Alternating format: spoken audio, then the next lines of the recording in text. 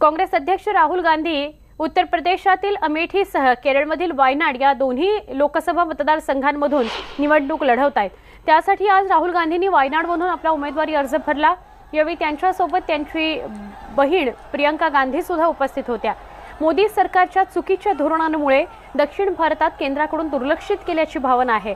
पण मी उत्तर आणि दक्षिण दोन्हीकडचा आहे. हा संदेश मला द्यायचा होता म्हणून मी इथूनही निवडणूक लढतोय असं राहुल गांधी पत्रकारांशी बोलताना म्हणाले.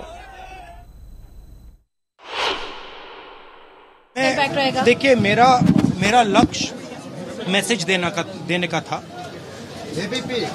साउथ इंडिया में फीलिंग है। तमिलनाडु में केरला में कर्नाटक में कि जिस प्रकार से सरकार काम कर रही है जिस प्रकार से नरेंद्र मोदी जी आरएसएस काम कर रहे हैं। देश के काफ़ी लोगों को लग रहा है कि उनके कल्चर पे, उनकी भाषा पे, उनकी हिस्ट्री पे आक्रमण हो रहा है।